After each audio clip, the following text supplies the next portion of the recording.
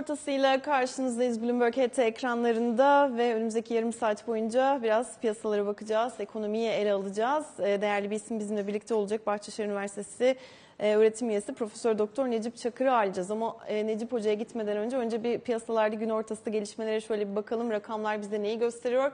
Borsa tarafında 5400 seviyelerin üzerinden 5300'lere gelen bir tablo karşımıza çıkıyor. Çok sınırlı da olsa düşüşler şu an itibariyle hakim. Dolar TL tarafında 21.49'u görüyoruz. Euro TL ise 23.17 seviyelerinden geçiyor. Euro dolar paritesinde 1.07'ye doğru bir hareketlenme olmuştu. E, dün gelen ABD tarafından biraz böyle yavaşlamaya işaret eden ekonomik verilerin ardından Avrupa Merkez Bankası'ndan gelen mesajlar daha şahindi. Dolayısıyla 1.07'lere doğru yükselen bir e, parite karşımıza çıkmıştı ancak orada tutunamayan bir tablo karşımıza çıkıyor yine şu saatlerde. Ve şimdi e, Profesör Doktor Necip Çakır'a hoş geldiniz diyelim. Hocam hoş geldiniz yayınımıza. Hoş bulduk. İyi yayınlar diliyorum. Çok teşekkür ederiz. Evet e, şimdi sizinle e, seçim öncesi yaptığımız konuşmaları hatırlıyorum. Biraz böyle karamsar bir e, tablo çizmiştiniz. Acaba e, ye, hala o karamsarlıkta devam ediyor musunuz yoksa biraz daha böyle son dönemde örneğin işte Mehmet Şimşek'in adının e, yeniden ekonomi yönetiminin başına geçmesiyle beraber farklı beklentileriniz oluştu mu? Ne dersiniz? Ee, çok fazla bir şey değişmedi doğrusunu söylemek gerekirse. Yani bunun bir dizi nedeni var. Tamam yani Mehmet Şimşek işte gelir gelmez e, görev e, devir tesliminde işte rasyonel politikalar geri döneceğini açıkladı. E, bu çok olumlu bir gelişme zaten. E, bu da işte piyasa tarafından atıl, e, satın alındı. Hemen işte CDS 700'lere kadar çıkmıştı. Yeniden 490'lı seviyelere indi. E, ama yani e, Mehmet Şimşek'in tek başına bir mucize yaratmasını beklemek e, mümkün değil. Yani bir tarafta da Cumhurbaşkanı'nın e, sürekli tekrar ettiği biz yüksek faizi sevmiyoruz, faizi düşürmeye devam edeceğiz e, açıklamaları var. Ve bunlar yani rasyonel politikayla e, çok bağdaşan şeyler değil. Burada yapılması gereken şey her şeyden önce yani e, geçmişte yapılan, geçmişte son bir buçuk yılda izlenen politikaların yanlış olduğunu, öz eleştirisinin yapılması ve bir daha bu politikalara dönülmeyeceğini e, ve kurumların itibarının iade edileceğinin, yani bunların geri kazanılması için e, bütün çabanın gösterileceğinin e, açıklanması ve hukuk sisteminde buna uygun olarak işleyeceğinin e, vurgulanması lazım. Yoksa yani tek başına Mehmet Şimşek'in gelmesi e, çok fazla bir şey değiştirecek e, durumda değil. E, ayrıca yani şimdi e, 2001 krizinden sonraki dönemle yani Derviş dönemiyle Mehmet Şimşek'in e, bu dönemini kıyaslayan arkadaşlar var. E, bunun çok doğru bir değerlendirme olduğunu sanmıyorum ve Mehmet Şimşek'e bunun bir haksızlık olduğunu da e, düşünüyorum. E, çünkü o dönemde bir kere Derviş gibi son derece saygın bir politik şey iktisatçıyla IMF'in devreye girmesiyle oluşan bir program vardı. Çok radikal değişiklikler de yaptılar Türkiye ekonomisi için ve dünya ekonomisindeki konjonktür de buna çok elverişliydi. Ama şimdi yani dünya ekonomisinde işte bir yavaşlama e, var. Bunu her tarafta gözlüyoruz. Çin'den tutun da dün mesela bir açıklama yapmışlar. E, büyük bankalar faiz oranlarını düşürsün ki işte ekonomiye destek olsunlar diye. E, Amerika'daki veriler de çok iyi gelmiyor. Avrupa e, resesyon eşiğinde, Almanya e, iyi durumda değil ki lokomotif ülke. E, dolayısıyla yani dış faktörler de çok olumlu değil bu dönemde. E, o yüzden e, Mehmet Şimşek'ten tek başına bir e, e, şey mucize beklemek e, çok e, mümkün gelmiyor bana ki bir de başka bir boyutu daha var bunun.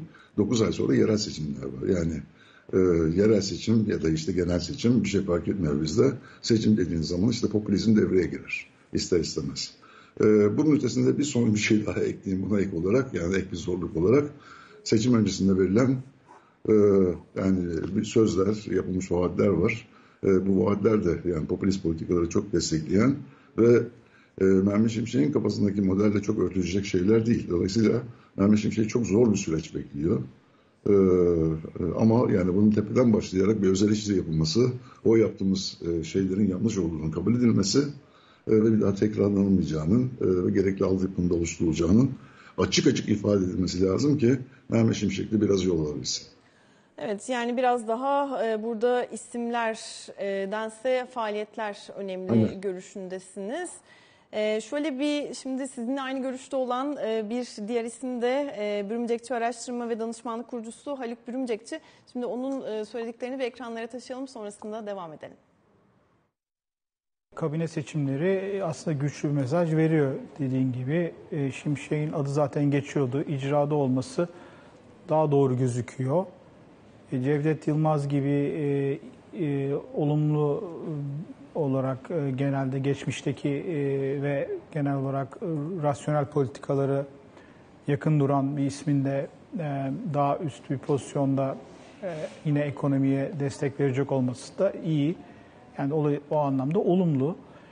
E, tabii bu bununla sınırlı kalmayacaktır. Yani şöyle şunlara bakmamız lazım önümüzdeki Merkez Bankası'nı zaten söyledin ama onun dışında bayağı bir isimde değişebilir. Yani başta Hazine ve Maliye Bakanlığı'ndaki kendi bakan yardımcıları olmak üzere Şimşek'in onun dışında e, BDDK, SPK, TÜİK gibi ilgili bağlı veya ilgili kurumlar na değişiklikler olacağı bunların hepsi aslında bir paket olarak bakmak lazım. Hepsinde bir değişiklik de mümkün. Yani Cumhurbaşkanlığı değişimiyle beraber ilgili kararname buna izin veriyor. Yani yenilenebiliyor. E, o yüzden bunları takip edeceğiz. Hangi isimlerin olduğunu bunlar da önemli. Bunlarla da mesaj verilebilir. Onun dışında Merkez Bankası'nı e, tabii ki düşünülen isim doğruysa ki bugün de bir görüşme gerçekleştirildiği belirtiliyor. Tabii ki e, CV olarak, özgeçmiş olarak e, oldukça parlak. Buna kimsenin diyecek bir şeyi yok. Ama e, buradaki e, Türkiye ekonomisini veya e, Türkiye'deki merkez bankacılığı ne kadar e, hakim e, bunlarla ilgili soru işaretlerim var. Aslında bunlar yani isimlerle konuşmak da istemiyorum. Yani isim değil yani. Burada aslında bakarsak şuna bakmamız lazım. Yani bunu da e, kısa zamanda görmemiz gerekiyor. E, para politikası, kur politikası daki yapılacak tercihler. Ama Birinci, iş değişiyor mu değişmiyor mu? Tabii. Yani tabii ki ama Değişiyor mu sence? Şöyle şimdi bir yetki verildiyse e, Şimşek verilmiş böyle bir tercih ve kendisi de kabul etmiş. Demek ki e, belli bir e, çerçeve içinde çalışacak demektir. O zaman bu yetki olduğu durumda ve rasyonele dönüş dendiğine göre bunları göreceğiz zaten. Bunları görmezsek sürpriz olur. Evet, e, isimler değil tercihler diyor Haluk Bürümcekçi. Hocam e, sizin söylediğinizde aslında paralel bir e, görüşü ekranlara taşımış olduk.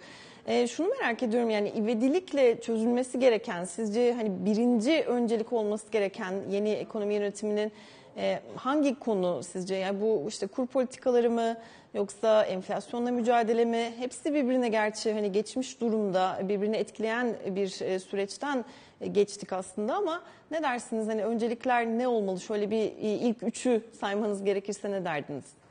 Yani ben e, daha önceden de işte sürekli vurgulamaya çalıştım. E, yani kurumların itibarını e, e, öne çıkartıyorum çok. E, ve bunun için de yani işte yani Şimşek'in ve ekibinin beraber çalışacağı bürokratlar e, önemli. Yani burada isim olarak e, bunları telaffuz etmenin gereği yok. E, yani bu kurumsallaşmayı sağlayacak, bu niyete e, sahip olan e, isimlerin öne çıkması lazım ki yani Türkiye ekonomisi bir itibar kazanabilsin. Yoksa yani şu anda işte Merkez Bankası'nın durumu da ortada, hazinenin durumu da ortada, TÜİ'nin durumu da ortada ve bunun yaratacağı sorunlar da şimdi Temmuz'da maaş artışları gelecek. Yani bu yapılan doğalgaz ayarlamasıyla doğalgaz e, şeyde sepette en fazla ağırlığı olan mallardan bir tanesi.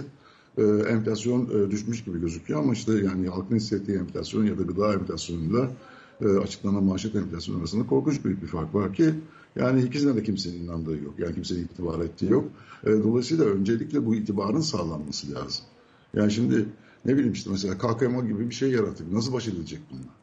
E, ve burada işte ne bileyim bankalar mesela bu faiz yükünü yüklenecek olurlarsa e, yani ne bileyim yani reel faiz sıfır ya da sıfıra yakın olmadığı sürece kimse yani banka mevduatlarına dönmek istemez. Hala dolar talebi çok yüksek olur. E, dolar yok ülkede. E, bunlar nereden temin edilecek? E, dolayısıyla çok ciddi sorunlar var. O yüzden öncelikle e, bu itibarı e, sağlayacak yeni bir kadrolaşmayla bir de yani biliyorsunuz bürokrasiden de bir sürü insan uzaklaştırıldı. Mehmet Şimşek kimle çalışacak? Bunun da çok büyük bir önemi var. Yani Amerika'dan gelecek Gaye Hanım'dı yanlış hatırlamıyorsam ismi Hafize Gaye Hanım. Yani çok parlak bir isim tamam öyle gözüküyor ama yani Türkiye ekonomisinden ne kadar haberdar? Nasıl bir bürokrasiyle karşı karşıya geleceğinden ne kadar haberdar? Yani nasıl bir para kuruluyla e, karşılaşacak. E, dolayısıyla bütün bunların e, yani bir, tamamının düşünülmesi lazım ki e, burada çok fazla bilinmeyen e, var maalesef. Yani bunlar da biraz e, kaygı uyandırıyor. E, ve yani işte ne bileyim beklediğimiz e, başarıya e, gölge düşürecek e, faktörler haline geliyor bunlar. Bir de bir şey daha yani yine Derviş'te yapılan e, kıyaslama çerçevesinde bir şey daha göz önünde bulundurmak lazım. O zamanki hükümet en azından Ecevit e, Başbakan e, Derviş'in arkasında tam anlamıyla durdu. E, ne kadar e, Şimşek'in e, arkasında durulacak ya da işte bu yeni kadronun arkasında durulacak bu da e, çok büyük önem e, taşıyor. E, eğer e, bir süre sonra yani e, benimsenecek işte rasyonel politika söylemine aykırı bir takım şeyler söylenecek olursa o zaman oluşturmaya çalışılan güven e, çok ciddi şekilde riske girmiş olacak. E, bütün bunları bir arada e, değerlendirmemiz lazım. Ve bir de tabii bir faktör var. Onu yeniden altını çiziyorum. Yani hem seçim önce yani seçimlerde yani Cumhurbaşkanlığı seçiminde ve genel seçimde verilen sözler hem de işte yerel seçim 9 ay sonra gelecek şey söylemi çok büyük ölçüde belirleyecek faktörler olacak. Burada da çok dikkatli olmak lazım. Yani seçim arifesinde hiçbir hükümet sıkı bir politikaya, sıkılaştırıcı bir politikaya yönelmek istemez. Çünkü bu oy kaybettirir. Yani halkın refahını önemli ölçüde düşüreceği için, işsizliği falan da arttıracağı için oy kaybettirir. Kimse buna kalkışmaz. Ama yani yapısal bir sürü sorun var. Bu yapısal sorunlar nasıl hallolacak? Yani bunlardan bir tanesi mesela vergi politikası. Ki hiçbir hükümet e, seçim öncesinde vergi koymaz. E, koymamaya çalışır. Ama yani işte yaşadığımız bir takım felaketler de var. İşte 11 elimizi kapsayan deprem gibi. Onlar için çok ciddi kaynağa ihtiyaç var.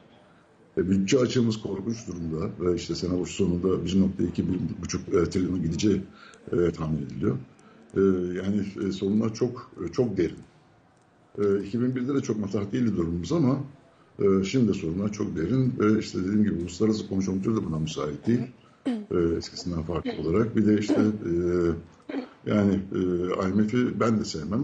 izlediği politikalardan çok hoşlanmam ama IMF gibi bir çıpa vardı arkada. O da çok önemliydi. ondan da yoksunuz maalesef. Evet şimdi hani vergi politikaları dediniz. Seçim öncesi hiçbir hükümet vergileri yükseltmez, yükseltmek istemez dediniz ama bir taraftan da bir kaynak yaratılmasına dair ihtiyaç var. Evet. Başka nasıl e, yaratılabilir? Sizce hani kısa dönemde yabancı sermayenin gelme ihtimali var mı? Burada e, ne kadar hani hızlı bir şekilde bunu görebiliriz? Kısaca rica edeyim. Yani e, estağfurullah.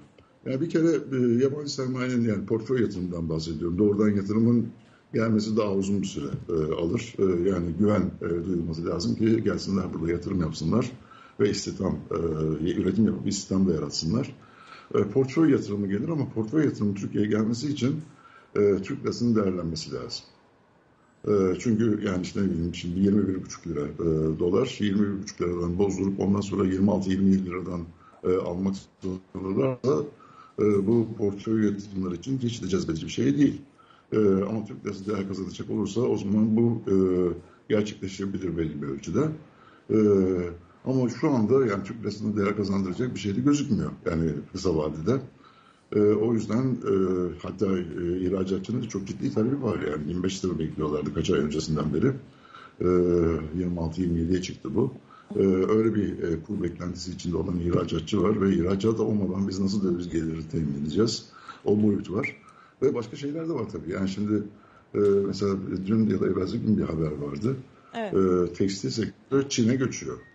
E, çünkü Çin'de, pardon Çin diyor Mısır'a göçüyor, geçiyor. Çünkü Mısır'da asgari ücret 88 dolar, bizde 400 dolar civarında. Ve bu yani bu sığınmacı işçiler de yani sigortası falan çok düşük ücretlerle çalışıyorlar ama o bile e, Mısır'daki ücretlere kıyasla daha pahalı hale geliyor.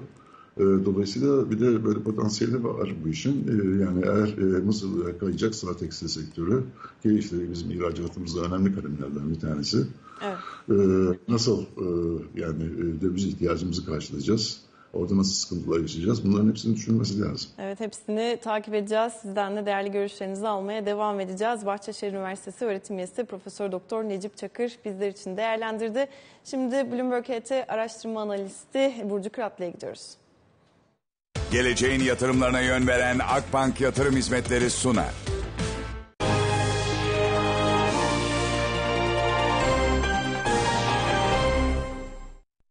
Burcu hoş geldin yayınımıza. E, gün ortası piyasalardaki gelişmeleri soracağız sana ama şimdi borsa tarafına bir baktığımız zaman hafif negatife dönen bir tablo karşımıza çıkıyor.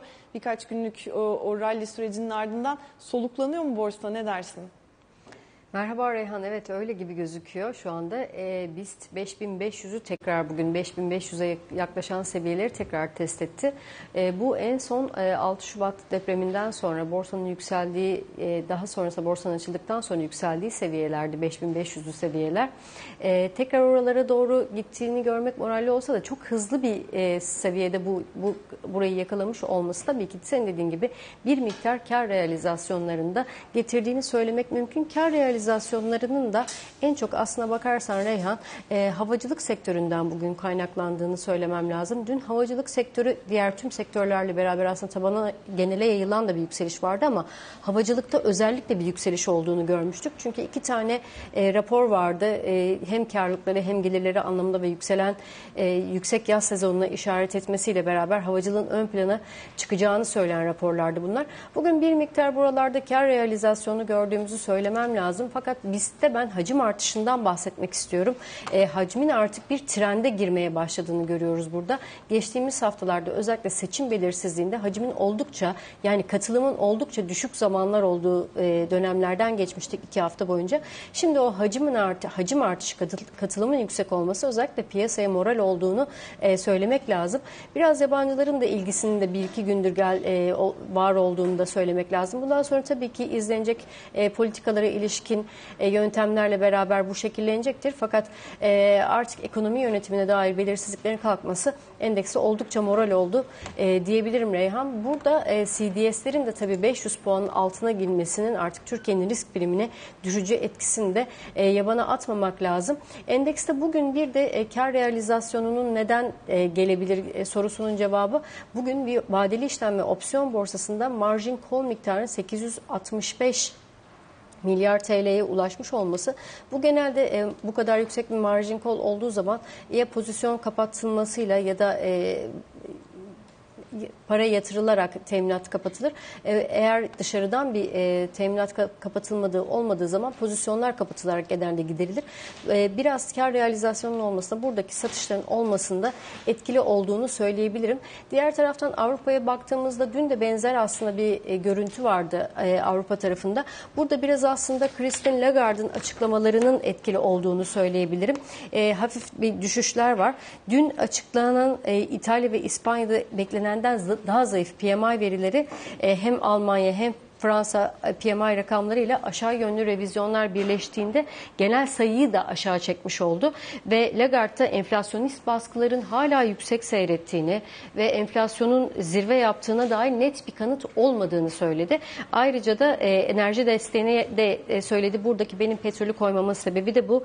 Enerji krizi hafiflerken e, hükümetler de destek önlemlerini derhal ve uyumlu bir şekilde almalı dedi. Hazır hali hazırda şu an petrol fiyatları biraz daha gevşemişken borsaların da az önce gösterilen grafikte yukarıya doğru hareket ettiğini görmekle birlikte e, yükselecek olan e, petrol fiyatlarıyla beraber eğer olası bir enflasyonun tekrar yükselmesi ihtimaline karşı e, önlem, uyarıda ve önlemlerde önlemler alınması gerektiğini söyledi Reyhan ve e, %2 hedefine ulaşmak için daha fazla faiz artışı gerekiyor deyip bir sonraki toplantıyı işaret etti. Şimdi önümüzde 13-14 Haziran'da FED var biliyoruz ve FED'den artık durma sinyalleri geldiğini de biliyoruz.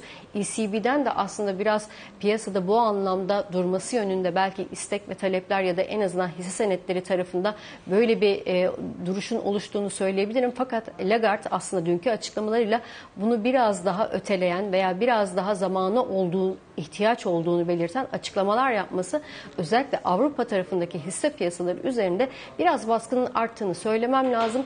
O bölgeden gelen bugün olumlu veri e, Almanya'daki rakamlarda Almanya beklenenden e, yüksek gelmesi yani beklenti rakamından biraz daha iyi gelmesi moral olsa da endeksler üzerindeki e, etkisini henüz şu anda göremiyoruz. Diğer taraftan Am- Amerika piyasalarında şu an vadeliler hafif yükselişler seyrediyor. E, Apple moral oldu dün piyasalara. E, karma gerçeklik gözle, gö- gözlüğüyle ve Apple yeniden düz zirveleri test etmişti. Bugün vadeliler hafif artı olsa da Apple'da da yine biraz kar satışlarının olduğunu söylemek lazım.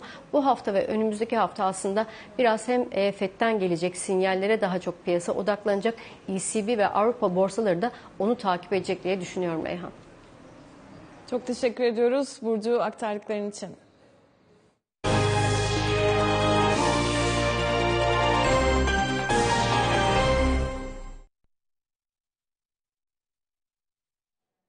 Geleceğin yatırımlarına yön veren Akbank Yatırım Hizmetleri sundu.